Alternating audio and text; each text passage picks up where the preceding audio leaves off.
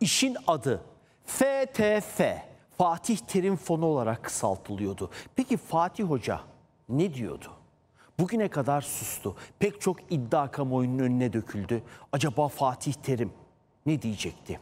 İsmail Saymaz, Fatih Terim'in avukatıyla konuşmuş. Ben de yeni bilgilerle ana hattını toparladım. Kim ne demişti? Bir de avukatı üzerinden Fatih Terim'in düşüncelerini size anlatmam gerekiyor ki yakında bir basın toplantısı düzenlemesi de Fatih Hoca'nın bekleniyor. İlk cevaplar dedim ki çok doğru. Şimdi bir karmaşa, bir kaos var, bir bilgi kirliliği var. Her kafadan bir ses çıkıyor. Bizzat olayın içindeki aktörlerden de karmaşa çıkıyor. FTF, Fatih Terim Fonu iddiaları.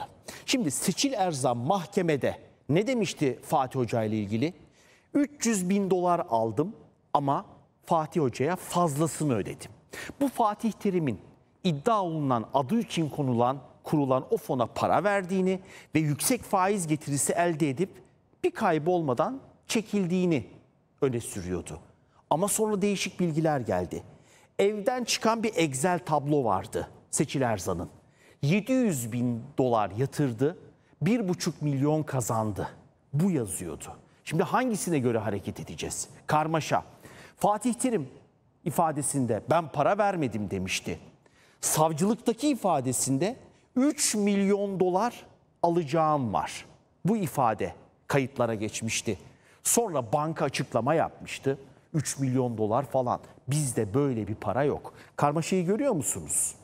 Bu Fatih Terim ve ardından iddialar. Şimdi yeni bilgilere bir bakalım. Fatih Terim'in açıklaması avukatı üzerinden. Seçil Erzan benim finans danışmanım falan değil. Temel bankacılık hizmetlerini verdi bana. İşte Florya şubesi, Galatasaray'ın tesisleri o da. İyi iletişim kuran bir insandı. İşi gereği e biz de bankacılık işlemlerinde ondan hizmet aldık. Temel hizmet aldık. Finans danışmanı değildi. Para ile ilişkisi Erzan'la yok. Ben Seçil Erzan'a para falan vermedim. Benim o bankada şubesinde hesabım var. Ben bankaya para yatırdım diyor. Hesaplarda yatan paraları benim Fatih Terim'in adına açılan o bankadaki hesapları Seçil Hanım yatırımlarla değerlendiriyordu. Hazine bonosu alıyordu, hisse alıyordu, işte tahvil alıyordu. Seçil Hanım bunları değerlendiriyormuş. Saha kenarında ben antrenmandan çıkıyorum diyor Fatih Hoca avukatı üzerinden. Topluca gelirdi elinde bir tomar evrak imzalar mısınız hocam? Ben de oldu bittiyle imzaları attım diyor. Peki kayıp para var mı gerçekten? Demin o karmaşayı anlatmıştım size. Avukatı diyor ki şu anda Fatih Terim'in 3 ila 3,5 milyon dolar arası parası ortada yok. Tekrar ediyorum avukatı resmi açıklama dikkate almak gerekiyor. Fatih Terim'in 3 ila 3,5 milyon dolar arası parası ortada yok diyor. FTF, Fatih Terim Fonu ismi nereden çıktı? Gerçekten Fatih Hoca mı koydurdu bu ismi? Hayır. Seçil Erzan diyor avukatı. İlk kez gözaltına alındığında o zaman bu ismi söyledi. Ondan önce böyle bir ismi duyan bile yok. Peki temel soru. Ya Fatih Hoca kızını uyarmadı mı Buse Hanım'ı? Buse Terim bile para kaptırdığı söyleniyor. Kızı Buse Terim'le duygusal baba kız ilişkisi var onun ailevi kararlarına, maddi kararlarına ihtiyaç duyulmadıkça karışmaz. Bilmemesi normaldir. Kızının maddi işlerine karışmaz diyor. İddianamede neden Fatih Terim'in ismi yok? Çünkü şikayeti tefrik edilmiş. Hukuk literatüründe tefrik ayrılma, dosyanın ayrılması demek. İddianamede Fatih Terim'in ismi yok. Çünkü onun Fatih Hoca'nın şikayeti ayrı bir dava konusu olmuş kendi bankadaki hesabına yatırdığı paralar banka hesabından çekildiği için Seçil Erzan tarafından Fatih Hoca'nın zimmet davası açılmasını beklediğini söylüyor avukatı. Zimmet davası açıldığı zaman ne olacak? İşte orası temel kırılma noktası. Zimmet davası açıldığında banka sorumlu oluyor. Hukuksal prosedürde dolayısıyla sigorta kapsamında, garanti kapsamında bu paralar banka tüm parayı tasarruf ya da hesap sahiplerine ödemek zorunda. Yükümlülüğü almak zorunda. Bunu özellikle söylemem gerekiyordu. Antalya'da seçim için başlıyor çalışmalar. Özgür Özel'e kulak veriyoruz. Cumhuriyet Halk Partili milletvekili.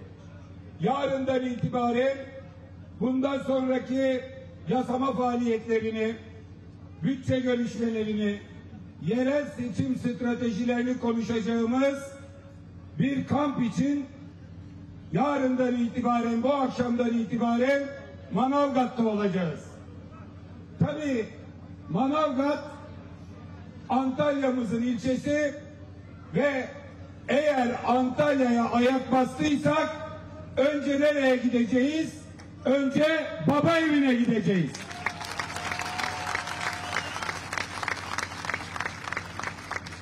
Son geldiğimde baba evinin kapısında şunu söylemiştim. Burası elbette ki Cumhuriyet Halk Partililerin evidir. Ama sadece Cumhuriyet Halk Partililere ait değildir. Herkes baba evine doğar.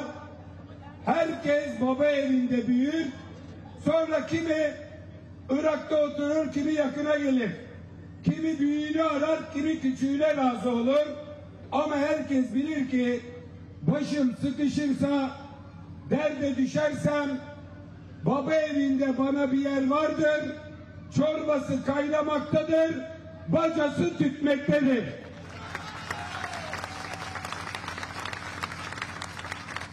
Bakın burada arkamda, yanımda o baba evinin çorbasını kaynatanlar bacası tütsün diye odun çekenler var.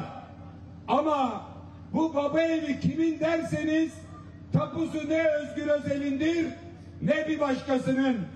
Bu evin tapusu bir kişiye kayıtlıdır. O da Gazi Mustafa Kemal Atatürk'tür.